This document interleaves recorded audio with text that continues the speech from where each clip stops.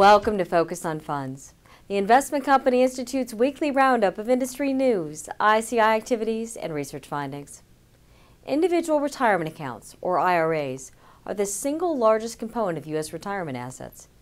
Since individuals are in charge of managing their own investments, researchers and policymakers are interested in understanding how these assets are invested. ICI's research, drawing from more than 10 million traditional IRA investors' accounts, sheds light on this question. Equity investing plays a major role in IRA investments. At year-end 2012, 49% of traditional IRA assets were invested in equity funds and equities directly. Equities also may be held through target date funds and other balanced funds. At year-end 2012, 6% of traditional IRA investors' assets were invested in target date funds, and another 11% were in non-target date balanced funds. Traditional IRA investors also hold fixed income investments. Bonds and bond funds were 20% of traditional IRA assets at year-end 2012, and money market funds were 13%.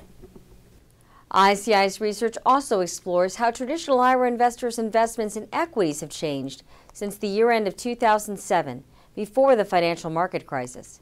It's clear that the 2008 crisis still lingers in people's minds. The share of traditional IRA assets invested in equities has fallen between year-end 2007 and year-end 2012, in part reflecting the relative change in equity values. Although the vast majority of traditional IRA investors held at least some equities in their traditional IRAs, at year-end 2012, 23% of traditional IRA investors held none, up from 16% at year-end 2007.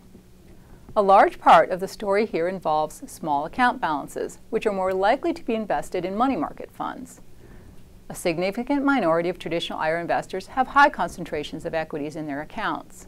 At year-end 2012, 23% of traditional IRA investors had invested all of their accounts in equities, and in total, 39% had more than 80% of their accounts invested in equities. The concentrations of traditional IRA balances in equities versus fixed income investments vary across investor age, as well as with the size of the traditional IRA balance. Additional details on asset allocations of traditional IRA balances are available in the full report on ICI's website. That's This Week in Funds. See you next week.